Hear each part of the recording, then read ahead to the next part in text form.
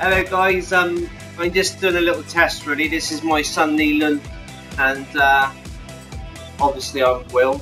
Um, basically I'm just doing a little test for my boy and me on the Kinect and basically uh, seeing how it is and sort of how the Upload Studio goes.